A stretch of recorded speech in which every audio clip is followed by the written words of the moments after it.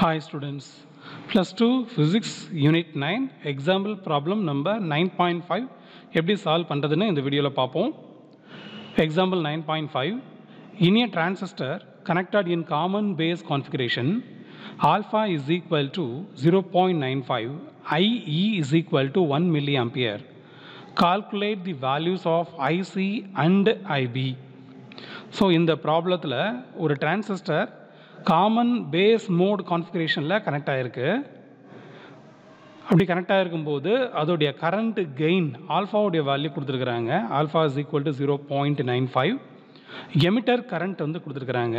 Base கரண்ட்டும் collector கரண்ட்டும் கேட்டிருக்காங்க.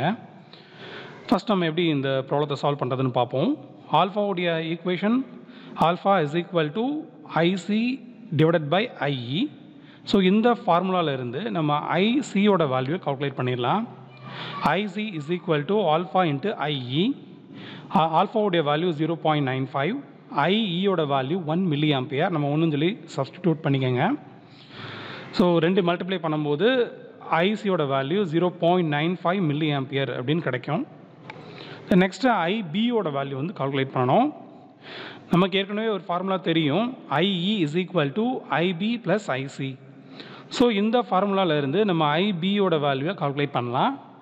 IB is equal to IE minus IC இந்த ஐசியை ஈக்குவேஷனுக்கு லெஃப்ட் சைடில் கொண்டு கொண்டு போகும்போது மைனஸ் ஐசின்னு மாறிடும்.